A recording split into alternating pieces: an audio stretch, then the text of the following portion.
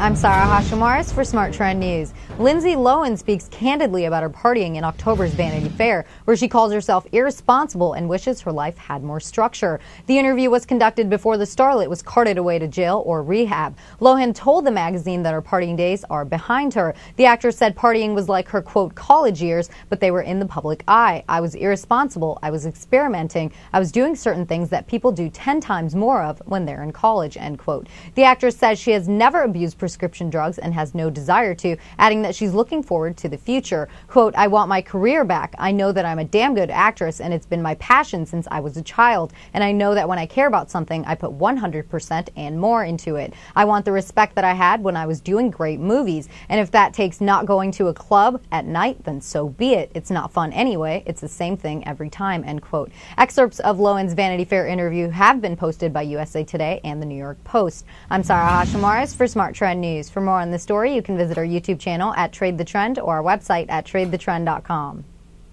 Trade the Trend with a free 14-day trial from Smart Trend, the equity trend alert system that helps you discover the right stocks at the right time. Visit tradethetrend.com slash TV to sign up now.